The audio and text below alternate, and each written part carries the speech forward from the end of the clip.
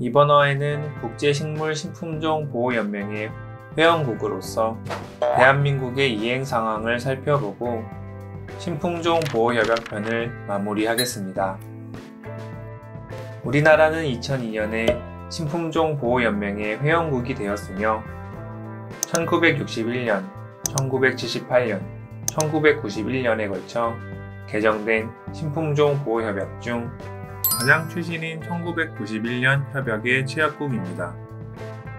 국내법상으로는 2013년 식물 신품종 보호법을 제정, 시행하여 몇 차례의 개정을 걸친 끝에 2022년 현재는 2020년 6월 시행된 식물 신품종 보호법이 시행 중입니다.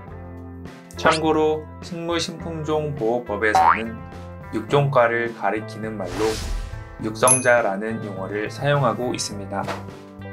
육성이라는 개념의 범위는 육종보다 넓으므로 이 시리즈에서는 육종과라고 하겠습니다. 식물 신품종 보호법의 주요 내용에 대해 살펴보면 신품종 보호의 요건은 신품종 보호협약과 마찬가지로 신규성, 구별성, 균일성, 안정성으로 총 4가지를 들고 있습니다. 첫째, 신규성이란 품종보호 출원일 이전에 대한민국에서는 1년 이상, 그 밖의 국가에서는 4년 이상, 해당 종자나 그 수확물이 이용을 목적으로 양도되지 않는 경우를 말합니다.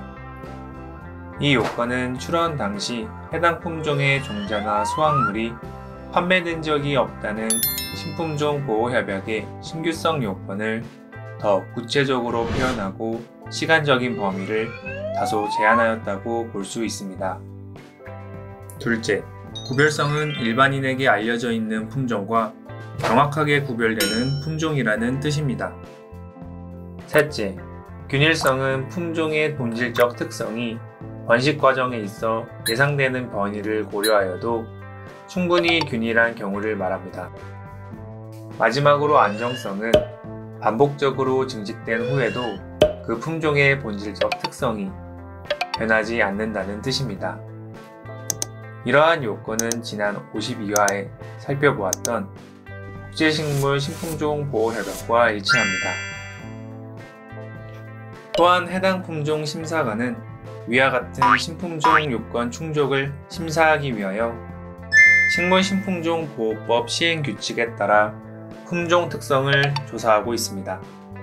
이렇듯 한국의 식물신품종 보호법은 신품종 보호협약의 요건을 구체화하여 시행하고 있습니다.